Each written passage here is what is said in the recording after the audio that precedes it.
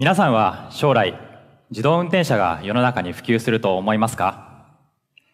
私はこの質問が数年後には馬鹿らしくなるぐらいに少しでも早く自動運転車を当たり前のものとして広めていきたいと考え取り組んでいます。これまで自動運転化の歴史は50年以上も続いてきました。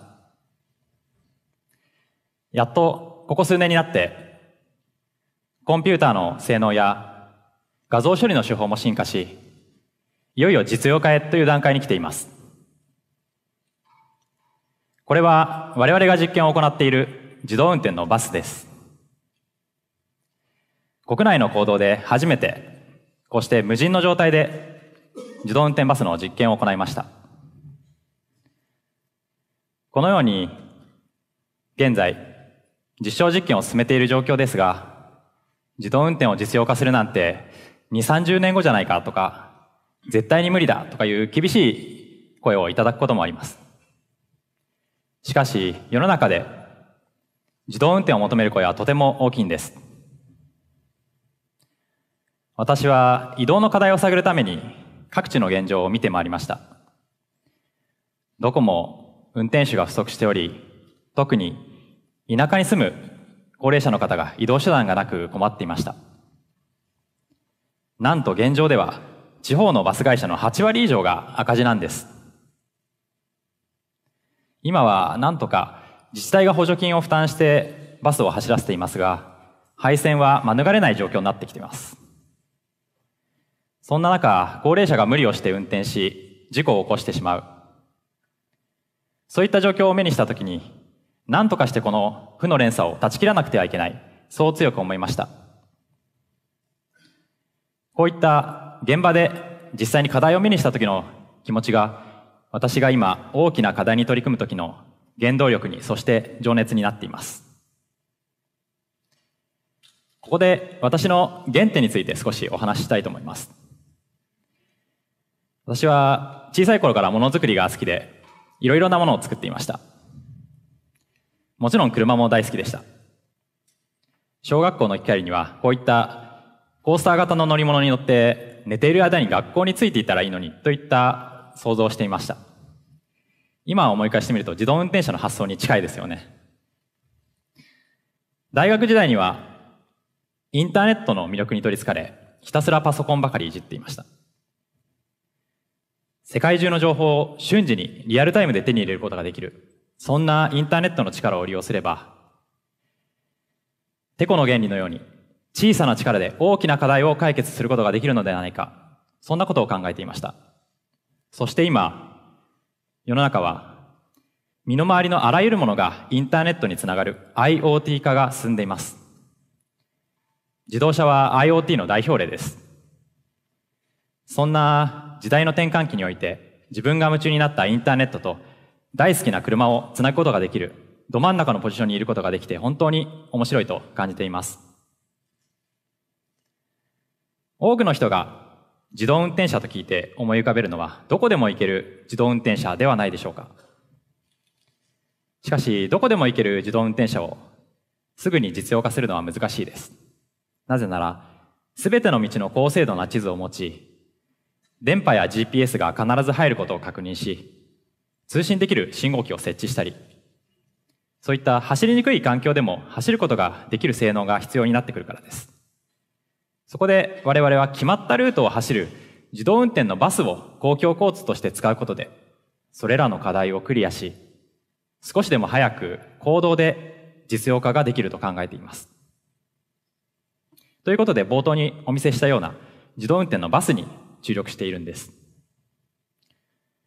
また、自動運転というと走る、曲がる、止まるといった自動運転の制御技術に注目が集まりますが、実用化するために重要なのは持続可能なサービスとして提供することなんです。持続可能なサービスとは、しっかりと採算が成り立ち、ユーザーにとっても便利なダイヤが組まれ、そして人間的な温かみが感じられるサービスです。私は車を売るのではなく移動体験を提供したい。そう考えています。車両というのは自動運転に必要な一つの要素でしかありません。バスの自動運転化を考えたときに、今の運転手さんが行っている仕事は運転以外にも数多くあることが分かりました。バス停で乗り降りするお客さんを確認したり、現金の両替や車内のトラブルに対応したり、それから乗客の質問に答えたり、それらを自動化する必要もあるんです。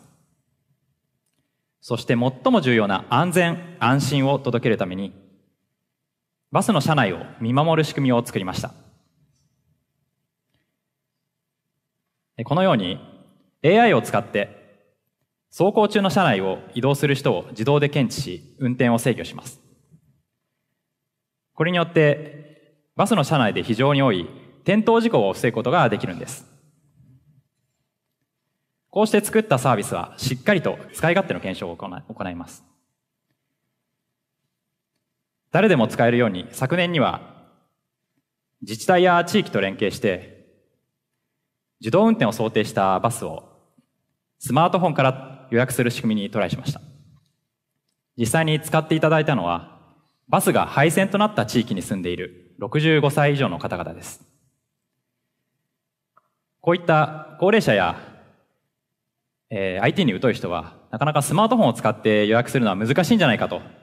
思いがちですが、本当に移動に困っている方々は、なんとか頑張ってスマートフォンを使って予約してくれるんです。とってもいい笑顔ですよね。こういったリアルなユーザーの協力も得て、使い勝手を少しずつ改善し、実用化へ進めています。ということで、ここまで紹介した自動運転の実用化を早めるポイントを整理すると、一つ目が決まったルートを走る自動運転のバスであること。そして二つ目がしっかりと採算が成り立つ持続可能なサービスとして提供すること。そして三つ目が地域や利用者に密着した、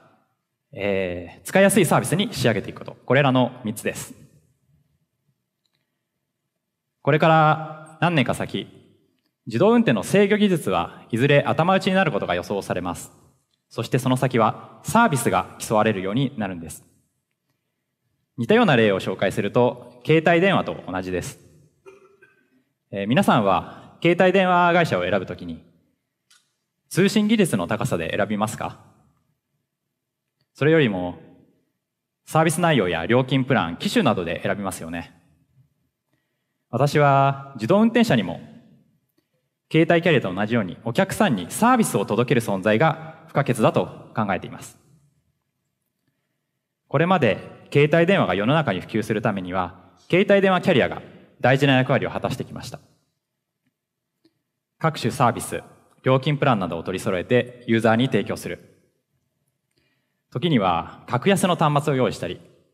高齢者にも分かりやすく説明したり、そうすることで利用者を増やし、やがて文化として形成されるようになったんです。それと同じように、将来的には自動運転キャリアが様々なメーカーの自動運転車を取り揃えて、ユーザーに便利な形で提供する。そのような姿になっていくと私は考えています。そして、世の中に自動運転車が普及するとどうなるのか。世の中に普及した自動運転車は、IoT として一つのインターネットの一つのアウトプット、駆動装置として現実世界を直接操作することが可能になります。自動運転車によって現実世界にインターネットが染み出してくると私は表現しているのですが、ちょっと抽象的で分かりづらいかもしれません。どういうことか。これまでインターネットで紹介されたお店や案内された場所に実際に行く判断をして行動するのは人間でした。しかし、自動運転車が普及した未来では、インターネットの判断がそのまま車両に伝わり、極端に言うと人が気づかないうちに目的地まで移動が完了してしまうということです。別の例え方をすると、これまで頭脳だけだったインターネットに手足がくっついたような、そんな状態です。そそうなると、インターネットの可能性がもっともっと広がる面白い世界になるはずです。ぜひここは皆さんも一緒に考えていただきたい。こちらの写真をご覧ください。行動ではないですが、東京電力の福島第一原発の中で働いている作業員の方々の移動手段として自動運転バスを実用化させた例です。私も実際に現場に入りましたが、原発の敷地内では1日廃炉に向けて6000人が働き、道路では歩く人やバス、大型トラックなどが行き交う一つの街のような感じになっています。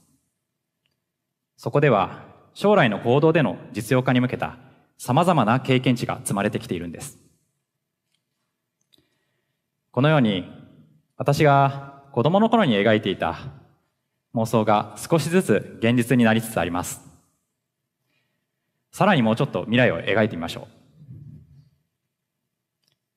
車は所有からシェアへ。車の所有は一つの趣味となります。高齢者でも誰でも移動したい時に魔法の絨毯のように自動運転車を自在に呼び寄せることができる。寝たり、読書をしたり好きなことをしている間に目的地までついているといったことも可能になるでしょう。インターネット上の頭脳が移動したい人と車両のバランスを調整し最小限の台数で人と物の移動を支えている。人気のあるお店には自動運転車がどんどん人を集めてくる。しかもお店が運賃を負担してくれて0円になることもある。夢が広がりますよね。でも私はこの夢を夢のままで終わらせるつもりはありません。本気で実現できると信じきっています。自分が世界を変えるんだ。自分が世界の最前線なんだと。客観的に見たら違うかもしれませんが、そんなのは関係ありません。自分が信じきれているかどうかです。自動運転車の普及により、移動に困っている人をゼロにしたい。そのためには、インターネットのごとく、会社や国を超えて連携し、力を合わせて必死で頑張るのみです。すでに、自動運転の実用化へのステップは、皆さんの思っている以上のスピードで回り始めているんです。近い将来、皆さんの目の前を自動運転車が通り過ぎたとき、私が最初にした質問を思い出してください。皆さんは将来自動運転車が世の中に普及すると思いますか？